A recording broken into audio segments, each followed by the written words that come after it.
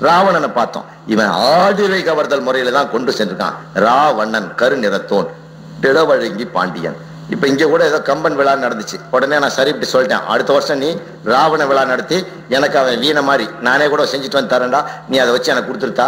நானும் வந்து அதை வாங்கிட்டு போறேன். ராவணனை பத்தி நான் அழகா பொம்பளை தூக்கிட்டு போய் சோகம் இல்லாத அசோகவனத்துல வச்சான். அவன் அவங்க அம்மாவுக்கு மூணு ஆறு வெட்டி வச்சிருக்கான் தான் ராவணன். இந்தியாவிலே மூணு ஈஸ்வரன் தான். ஒரு ஈஸ்வரன் சனீஸ்வரன். இன்னொருத்தன் பரமேஸ்வரன் இன்னொருத்தன் லங்காஸ்வரன். மூணு பேர் தான் ஈஸ்வரர்கள். நான் இந்த சாஸ்திரத்துல டிப்ளமோ வாங்கினவன் இந்த இதுல.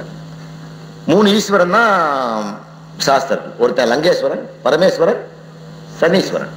இதுல ஒரு ஈஸ்வரன் லங்கேஸ்வரன் என்று சொல்லக்கூடிய ராவணன் நிலவழங்கி பாண்டியன். அவன் அவங்க அம்மாவுக்கு மூணு நீரூற்று வெந்நீர் ஊற்று கட்டி கொடுத்துருக்கான். கண்டியில திரிகோணமலையில. இன்னும் இருக்கு. முதல் கிணத்துல முன்னூ முப்பது டிகிரி சூடு இருக்கும்.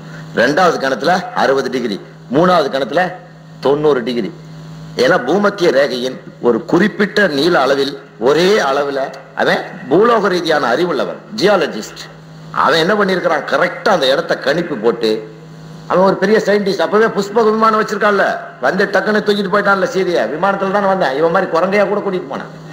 வந்தான் பிளைட்ல தூக்கிட்டு போயிட்டான். அம்பேத்கர் கேட்பாரு செல்வானுக்கு தூக்கி போனதுனால பாலம் போட்ட உட்கார சிங்கப்பூர் தூக்கிட்டு போயிருந்தா என்னடா வண்டி பண்ணி? ஒன்றும் பண்ணிருக்க மாட்டான். அந்த கிணறு இன்னும் இருக்கு. இந்த முதல் கிணத்துல கையை விட்டீங்கன்னா மேலே வரைக்கும் தண்ணி இருக்கும். யார் வேணா இப்போ கூட சிலோனுக்கு போனீங்கன்னா கண்டி கதிர்காமம். தண்ணி எடுத்து ஊத்தினீங்கன்னா லேஸ் சூடு. அடுத்து கொஞ்சம் மிதமான சூடு மிதமான சூடு அதிக உஷ்ணம். மூணு கிணறு பக்கத்தில் தரமட்டமாக இன்னைக்கு வரைக்கும் இருக்கு. ராவணன் தோண்டி வச்சது தன் தாய்க்காக.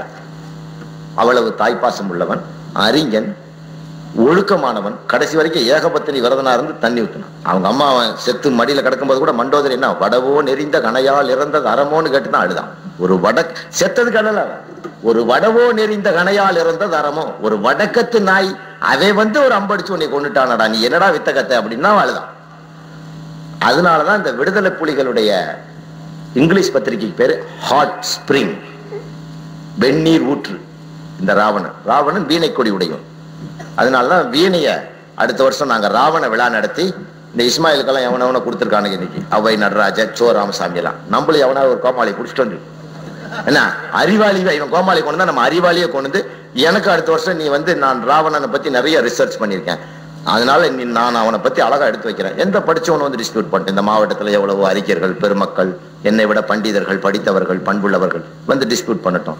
நான் சொல்ற கருத்தையும் அவன் சொல்ற கருத்தையும் கேட்டு எனக்கு அந்த வீணை கொடியை கொடுப்பா. வீணை சின்ன ராவணனோட சின்னத்தை நீ அடுத்த வருஷம் பாருங்க. ஏன்னா அதை வந்து நம்ம கேசட் பண்ணி நாடு நகரம் பூரா பரப்புவோம். என்ன தப்பு?